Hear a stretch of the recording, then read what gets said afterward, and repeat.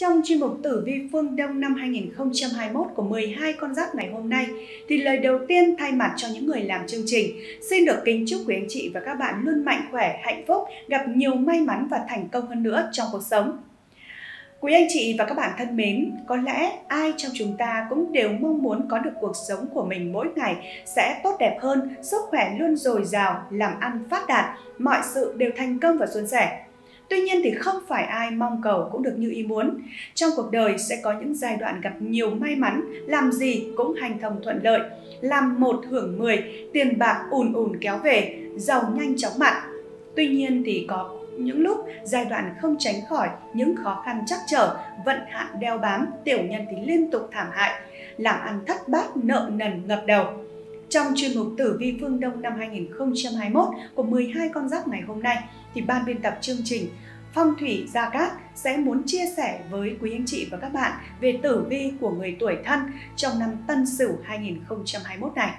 Trong năm tới đây thì vận trình công danh sự nghiệp tài lộc của tuổi thân sẽ ra sao? Con giáp này có được tân tài mở kho ban phát tài lộc hay không? Trên bước đường công danh sự nghiệp của mình thì chúng ta có phải gặp những khó khăn hay là chắc trở nào hay không? Sức khỏe, tình duyên sẽ có những chuyển biến như thế nào trong năm 2021? Và để nắm rõ được vận trình của mình thì xin mời quý anh chị và các bạn hãy cùng theo dõi chi tiết video ngày hôm nay. Tổng quan tử vi tuổi thân năm 2021 Tân Sửu Người tuổi thân gặp năm Tân Sửu 2021, thiên can tân kim lộ xuất tỷ kiên, còn địa chi sửu thổ lộ xuất chính ấn người tuổi thân vẫn có thể gặt hái được thành công nhất định trong việc làm ăn, khá thuận lợi trong việc buôn bán kinh doanh, tài chính hoặc thủy lợi, nhà hàng. Thế nhưng vì năm nay là năm phạm cục diện hại thái tuế nên dù làm ăn khá cũng vẫn tồn tại những tín hiệu nguy hiểm. Nếu không có sự đề phòng thì dễ gặp phải tổn hại do tai họa ngầm để mọi việc viên mãn hóa giải các xung sát do thái tuế ảnh hưởng tới mình. Mệnh chủ cần luôn mang theo bên người một kim bài thái tuế. Ngoài ra, tỷ kiên chiếu mệnh còn đại diện cho những chuyện thị phi rắc rối. Vì thế, trong năm 2021, dù việc làm ăn, lợi lộc có sự phát triển nhất định, nhưng người tuổi thân dễ gặp phải tai họa khôn lường. Bản mệnh có thể sẽ phải trải qua nhiều chuyện rắc rối nếu quá chú tâm vào chuyện tình cảm. Trước khi đi đến quyết định giữ mối quan hệ với ai thì con giáp này cần phải cẩn trọng hơn, có con mắt tinh đời để có thể phát hiện ra ai là người tốt, kẻ xấu. Tốt nhất nếu thấy mối quan hệ nào tốt với mình thì nên phát triển, mối quan hệ nào mang lại nhiều điều tiêu cực thì nên giảm thiểu, thậm chí là chấm dứt. Bản mệnh cũng cần phải chú ý nhiều đến chuyện kiện tụng thị phi trong năm 2021 này. Do ảnh hưởng của thái tuế mà người tuổi thân sẽ thường cảm thấy mệt mỏi, uể oải, không có ý chí chiến đấu. Trong quá trình làm ăn thì tốt nhất không nên tham lam, nếu không sẽ dễ vướng vào chuyện kiện tụng.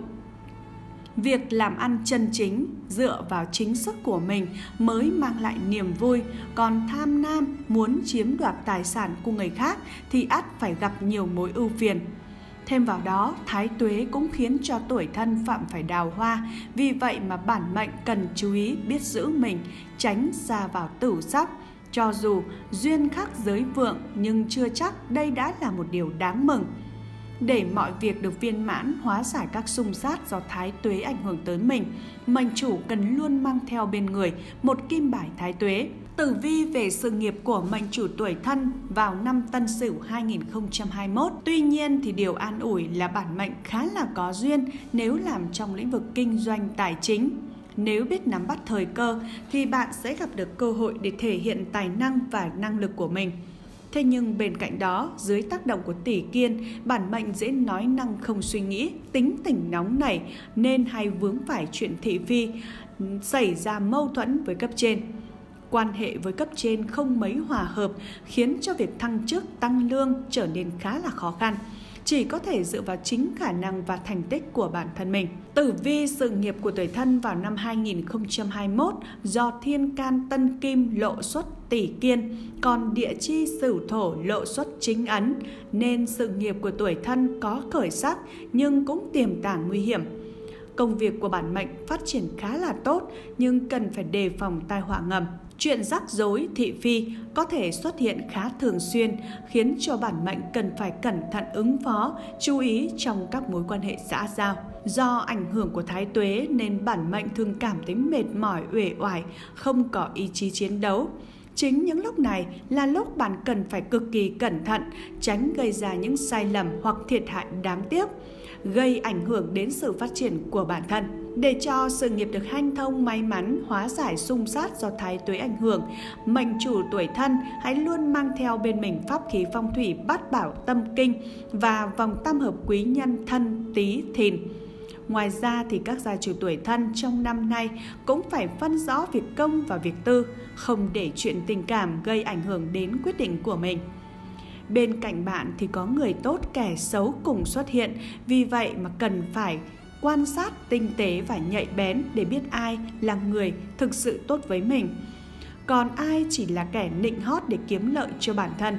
Với những người làm nghề kinh doanh tự do thì bản mệnh cần phải xác định rõ ràng mục tiêu, chớ nên tham lam, làm những việc thiếu đạo đức, bởi những việc làm này sẽ gây ra những nguy hiểm và thị phi cho chính bạn. Đặc biệt các mệnh chủ tuổi thân trong năm 2021 Tân Sửu cần phải cẩn trọng chú ý trong tháng canh dần. Dương lịch từ ngày 12 tháng 2 năm 2021 cho tới ngày 12 tháng 3 năm 2022, tức ngày mùng 1 tháng 1 đến ngày 29 tháng 1 âm lịch. Đây là tháng đại kỵ với những gia chủ tuổi thân. Các gia chủ thì cần phải hết sức đề phòng tiểu nhân tìm cách quấy phá những thị phi không đậu ập tới. Cần phải tuyệt đối không nên khai trương cửa hàng, không nên tiến hành những việc đại sự trong nhà, dễ gây ảnh hưởng cả đến những kết quả kinh doanh sau này. Nhìn chung thì những gia chủ tuổi thân thì không nên tiến hành công việc trọng đại vào ngày thời gian này. Nếu muốn tiến hành thì phải tham khảo kỹ càng từ các chuyên gia phong thủy. Tử vi tài lộc của mệnh chủ tuổi thân năm Tân Sửu 2021 con đường tài lộc của tuổi thân vào năm Tân Sửu khá là thuận lợi do có thiên tài chiếu mệnh, đặc biệt là với những người làm trong lĩnh vực tài chính, kinh doanh, thủy lợi hoặc thực phẩm. Tuy nhiên, bản mệnh nên biết thế nào là đủ để có thể dừng lại đúng lúc, không nên thấy những mối làm ăn lớn, kiếm lợi nhiều mà đầu tư không suy nghĩ bởi những quyết định nóng vội có thể dẫn đến những sai lầm không đáng có, thậm chí có thể khiến bạn rơi vào cảnh tiền mất, tật bang, phá sản. Năm nay sẽ không có nhiều cơ hội thu nhập, cũng sẽ phát triển theo tình hình rủi ro hoặc là tài vận cũng sẽ tùy theo mà tăng nhiều hay ít đồng thời còn gặp không ít những việc đau đầu vì tiền tài mà xảy ra tranh chấp liên quan đến pháp luật. Chi tiêu ngoài ý muốn, năm nay tuy là năm tài vận kém nhưng tuổi thân không cần phải quá mức khẩn trương. Cơ hội vĩnh viễn dành cho người có chuẩn bị nếu như trong sự nghiệp có thể đặt ra kế hoạch cùng với mục tiêu, cùng với sự cần cù chăm chỉ làm việc, có thêm quý nhân tương trợ thì có thể đạt được kết quả mong đợi. Ngược lại, nếu như ăn không làm biếng càng ngày vọng tưởng tiền từ trên trời rơi xuống, tự nhiên sẽ có một ngày cạn kiệt. Để kích hoạt tài vận của mình, hãy sử dụng pháp khí phong thủy vòng tam hợp quý nhân thân tí thìn và mặt dây bắt bảo tâm kinh để kích hoạt tài lộc, chiêu phúc, nạp tài, tịnh hóa nghiệp lực, gia trì công đức cho người sử dụng. Ngoài ra trong đời sống hàng ngày thì bạn nên có kế hoạch chi tiêu hợp lý cho dù là khi tài chính dư giả cũng nên biết giữ mình. Tử vi về tình cảm của mệnh chủ tuổi thân năm Tân Sửu 2021. Người tuổi thân dù là nam mạng hay nữ mạng thì đều khá vượng đường tình duyên. Những người còn độc thân thì có cơ may gặp được một người thực sự phù hợp với mình.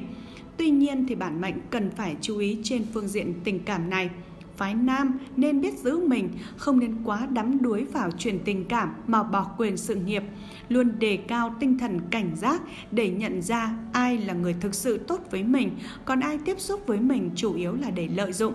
Rất có thể, nếu bản mệnh quá cả tin thì sẽ bị đối tượng có ý đồ xấu lừa gạt, khiến cho bạn phải chịu đựng nhiều hậu quả đáng tiếc. Phái nữ thì nên có cách cư xử đúng mực, không nên quá nóng nảy bốc đồng, nói năng không suy nghĩ, khiến đôi bên đều phải chịu tổn thương.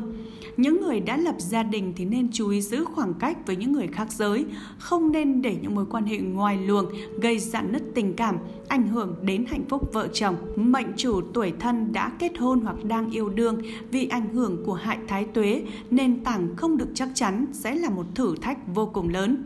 Hơn nữa, tình cảm lại gặp được tân kim tỷ kiếp, mệnh chủ tuổi thân, dễ mẫn cảm cực đoan, có các hiện tượng như xung đột nhiều với người yêu. Đồng thời thì dễ bị bên thứ ba phá rối, có cãi vã tranh chấp. Phải cẩn thận với việc có kẻ thứ ba chen ngang cùng người khác giới kết giao thì phải giữ đúng chừng mực. Nếu như năng lực quyết định không vững thì khó chống cự lại được sức hấp dẫn, rơi vào chuyện tình cảm dây dưa. Nếu không hề có dấu hiệu tình cảm thì mệnh chủ tuổi thân đối với chuyện nhân sinh sẽ âm thầm lo âu. Hãy sử dụng pháp khí phong thủy vòng tam hợp quý nhân thân tí thìn để được quý thần tương trợ, từ đó tăng cường mệnh duyên cho mệnh chủ tuổi thân. Tử vi về sức khỏe của mệnh chủ tuổi thân năm Tân Sửu 2021 Sức khỏe của tuổi thân phải chịu nhiều tổn hại, sửu thổ có sức ảnh hưởng lớn, dễ khiến cho yếu tố kim khí bị vùi lấp mệnh chủ sẽ thường bị các bệnh liên quan tới hệ thống hô hấp, dễ mắc phải những căn bệnh như cảm cúm, thấp khớp do sự thay đổi của thời tiết. Một số người thì gặp vấn đề về thận. Trong năm nay thì không nên nóng nảy, chủ động gây thị phi, mâu thuẫn với người khác. Trong các buổi liên hoan tụ họp thì cũng như là trong cuộc sống cần phải biết giữ mình, không nên lạm dụng bia, rượu, thuốc lá hoặc có thái độ sống quá phóng túng gây ảnh hưởng cho sức khỏe về lâu dài. Vì thế mà tuổi thân cần tránh đến những nơi u ám ẩm ướt, nếu không dễ khiến cho cơ thể không thích nghi được, gây tổn hại lớn. Trong năm tân sửu thì bản mệnh không nên làm việc quá sức khiến cho cơ thể mệt mỏi, không nên tham lam hoặc xa vào các thú vui như rượu chè cờ bạc. Nếu có thời gian rảnh thì nên thường xuyên tham gia các hoạt động ngoài trời, rèn luyện sức khỏe. Mệnh chủ tuổi thân năm nay sức khỏe của bản thân và người nhà đều dễ dàng xuất hiện tật bệnh, thậm chí có khả năng bệnh cũ tái phát trở lại. Tình trạng có vẻ nặng hơn nếu như cảm thấy không khỏe thì phải kịp thời chữa chạy. Hàng ngày nên quan tâm nhiều tới sức khỏe của người lớn tuổi trong nhà. Để hóa giải tà khí, âm khí ảnh hưởng tới mình, mệnh chủ cần mang theo bên mình bát bảo tâm kinh, giúp tịnh hóa nghiệp lực, gia trì công đức cho mệnh chủ, mang lại bình an, may mắn, sức khỏe cho người sử dụng. Cát hung, nạp vận của từng tuổi trong năm 2021 Tân Sửu Tử vi năm 2021 của tuổi Giáp Thân, sinh năm 2004, Tuyền Trung Thủy. Năm Tân Sửu 2021 có nạp âm ngũ hành là bích thượng thổ, thổ thủy tương xung nên năm nay mệnh chủ cần phải chú ý nhiều về các bệnh liên quan tới thận và xương cốt những người sinh năm giáp thân bước vào giai đoạn dậy thì, đặc điểm của thiếu niên giai đoạn này đó là hay mơ mộng suy nghĩ, muốn khẳng định cái tôi của mình nên dễ nảy sinh ra tâm lý đối nghịch với cha mẹ và thầy cô. Ngoài ra, người ở độ tuổi này có cảm xúc thay đổi thất thường, thường hay mất tập trung phân tán sự chú ý, dễ bị tác động bởi các yếu tố bên ngoài nên thành tích học tập thường không ổn định, thậm chí có dấu hiệu đi xuống. Vào giai đoạn này, người lớn, đặc biệt là các bậc cha mẹ và thầy cô đóng vai trò rất quan trọng trong việc điều chỉnh và định hướng con trẻ. Trong giai đoạn phát triển tâm sinh lý này, nếu con trẻ thiếu đi sự quan tâm của người lớn thì rất dễ học đòi những thói hư tật xấu ảnh hưởng đến sự phát triển của tương lai. Vì thế, người lớn cần phải hết sức chú ý những thay đổi về thể chất và tâm hồn của con cái, nên dành thời gian để trò chuyện tâm sự, Tuy nhiên, nên tránh việc áp đặt con theo suy nghĩ của mình, dễ gây ra áp lực và phản tác dụng. Do phải tập trung vào việc học tập nên nhiều khi gây ra sự căng thẳng cho bản thân. Sử dụng vật phẩm phong thủy vòng tam hợp thân tí thìn để hòa hợp quý nhân, tăng sự tập trung giúp ích cho phần học tập sau này. Ngoài ra, nên sử dụng pháp khí phong thủy tháp văn xương theo sự tư vấn của chuyên gia phong thủy Lộc Tài. Về phương diện sức khỏe thì Người dậy thì thường hay gặp tình trạng nóng trong người. Vì thế, tránh ăn đủ cay nóng, nhiều dầu mỡ, không nên ngủ muộn hoặc thức thâu đêm. Nam mệnh tuổi thân 18 tuổi, năm nay gặp bộc đức chiếu mệnh, chú ý không để mắt quá mệt mỏi, dẫn đến giảm thị lực. Nữ mệnh tuổi thân 18 tuổi, năm nay gặp thủy diệu chiếu mệnh, dễ dàng xuất hiện miệng lưỡi thị phi, mọi việc nên bình tĩnh. Tử vi năm 2021 tuổi nhâm thân sinh năm 1992 kiếm phong kim. Năm Tân Sửu 2021 có nạp âm ngũ hành là bích thượng thổ, thổ kim tương sinh, mệnh chủ cần chú ý nhiều những bệnh liên quan về đường hô hấp, nhất là những bệnh về phổi. Người tuổi nhâm thân sinh năm 1992 gặp nhiều chuyện tốt đẹp trong công việc, vì thế cần phải biết nắm bắt cơ hội để thể hiện năng lực và tài hoa của mình trong tập thể. Hãy lập kế hoạch phát triển và xác định mục tiêu hướng tới cho mình ngay từ đầu năm, rồi kiên trì thực hiện từng bước, chắc chắn bạn sẽ nhận được những kết quả xứng đáng, sự nghiệp có bước tiến đáng kể. Người tuổi này thì cần phải có kế hoạch chi tiêu hợp lý, tránh việc kiếm tiền được bao nhiêu lại tiêu hết bấy nhiêu. Nếu có cơ hội có thể tìm hiểu thêm các lĩnh vực đầu tư, phân tích tình hình thị trường, bạn có thể kiếm thêm được những khoản thu nhập ngoài mức lương chính. Năm nay, công việc tuy có sự trợ giúp từ bạn bè đồng trang lứa nhưng vẫn phải đề phòng người không quen, chớ vì người khác mà đứng ra bảo đảm. Để kích hoạt tài lộc cho người tuổi thân thì hãy sử dụng vật phẩm phong thủy bát bảo tâm kinh và vòng tam hợp quý nhân thân tí thìn theo hướng dẫn của chuyên gia phong thủy. Năm mệnh tuổi thân 30 tuổi, năm nay gặp thủy diệu chiếu mệnh, thích hợp đi xa, công tác, du lịch, tài vận tương đối cao. Nữ mệnh tuổi thân 30 tuổi năm nay gặp mộc đức chiếu mệnh, dễ dàng xuất hiện các bệnh nhỏ, đau nhức và tổn thương ngoài ý muốn, nên chú ý tới tình trạng sức khỏe và an toàn. Tử vi năm 2021 của tuổi canh thân sinh năm 1980 thạch lựu mộc. Năm Tân Sửu 2021 có nạp âm ngũ hành là bích thượng thổ, mộc thổ tương khắc, vậy nên mệnh chủ sẽ gặp phải các bệnh liên quan đến thận và xương cốt. Đây là một điều mà các mệnh chủ hết sức chú ý, đặc biệt là chú ý bảo vệ sức khỏe của bản thân, đề phòng những bệnh xương khớp, bệnh về dạ dày có thể ảnh hưởng nghiêm trọng đến sức khỏe của gia chủ. Trong năm Tân Sửu 2021, người tuổi canh thân sinh năm 1980 gặp phải nhiều chuyện cần phải suy nghĩ, áp lực công việc lớn, thành tích không được như lý tưởng mâu thuẫn với lãnh đạo, quan hệ xã hội thì không được thuận lợi, đặc biệt khi sau lưng luôn có những kẻ tiểu nhân bàn toán chuyện thị phi. Trong công việc thì dễ để xảy ra sai sót, khiến cơ thể phải chịu mệt mỏi. Muốn cải thiện những vấn đề này thì bản mệnh có thể thay đổi phong cách ăn mặc, cải thiện phong thủy nhà ở, tránh những chuyện không hay hoặc những yếu tố không thuận lợi tích tụ tạo thành sát khí. Để hóa giải cho tuổi canh thân sinh năm 1980, cần bố trí phong thủy nhà ở hợp lý, đồng thời trong phòng khách hoặc phòng làm việc phải có pháp khí phong thủy thất tinh bát quái trận đồ theo sự tư vấn hướng dẫn của chuyên gia phong thủy. Nam mệnh tuổi thân 42 tuổi, năm nay gặp Vân Hán chiếu mệnh, mọi hành động thì cần phải thận trọng. Về sức khỏe, lưu ý các vấn đề như là phát hỏa, đau nhức nữ mệnh tuổi thân 42 tuổi, năm nay gặp la hầu chiếu mệnh, dễ xuất hiện miệng lưỡi thị phi, xuất hiện các chứng viêm ở miệng, mắt, phụ khoa. Tử vi năm 2021 của tuổi Mậu Thân, sinh năm 1968, Đại Trạch Thổ, năm Tân Sửu, có nạp âm ngũ hành là bích thượng thổ, thổ khí đồng niên nên vượng địa, mệnh chủ cần chú ý nhiều đến các bệnh liên quan tới hệ tiêu hóa và hệ hô hấp nhiều hơn, đặc biệt là các bệnh liên quan tới tai, mũi, họng. Nửa đầu năm 2020, vận thế của tuổi Mậu Thân sinh năm 1968 cực vượng, bản mệnh có thể nắm bắt được nhiều cơ hội để thăng chức tăng lương, đồng thời nhận được sự tán thưởng của đồng nghiệp và cấp trên. Tuy nhiên thì vẫn cần phải chú ý đến mọi công việc mà mình đang phụ trách, tối kỵ việc lơ là, coi thường nhiệm vụ, cần lên kế hoạch phấn đấu rõ ràng, cố gắng hết sức mình. Có như vậy thì mới đạt được kết quả thực sự đáng mơ ước trong sự nghiệp. Tuy nhiên thì tình hình tài chính của bản mệnh không quá khả quan, vì thế mà những ai có ý định đầu tư thì không nên quá nóng lòng muốn thu được lợi nhuận.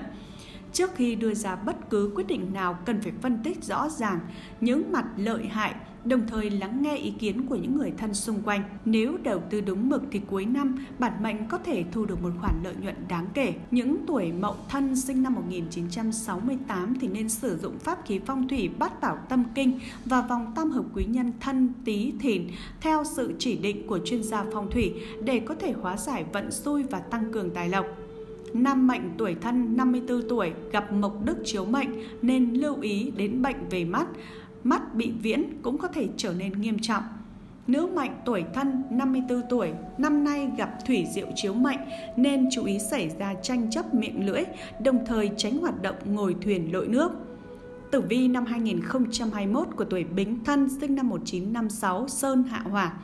Năm Tân Sửu 2021 có nạp âm ngũ hành là Bích Thượng Thổ, Hỏa Thổ tương sinh tiết mất khí, cho nên về mặt sức khỏe sẽ kém hơn rất nhiều, dễ mắc các bệnh liên quan đến tim mạch Tuổi Bính Thân sinh năm 1956 có dấu hiệu giảm sút ít nhiều so với trước đây. Các chứng bệnh có thể tái phát, vì thế mà bản mệnh không nên đi xa quá nhiều. Nếu có bệnh thì nên chú ý, chuẩn bị thuốc men đầy đủ trước khi ra khỏi nhà. Năm nay không phải là một năm thuận lợi với bản mệnh, vì thế mà tránh việc di chuyển sửa sang nhà cửa. Người cao tuổi cần chú ý bảo vệ sức khỏe, không tạo cơ hội cho các chứng bệnh cũ tái phát – nếu chú ý vận động rèn luyện một cách hợp lý thì có tác dụng nâng cao sức khỏe, giúp tinh thần thư thái vui vẻ, đồng thời cần có thời gian nghỉ ngơi đầy đủ hợp lý.